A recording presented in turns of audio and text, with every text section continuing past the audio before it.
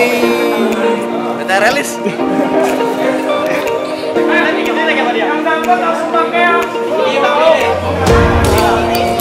Langsung pakai ya di sini kan.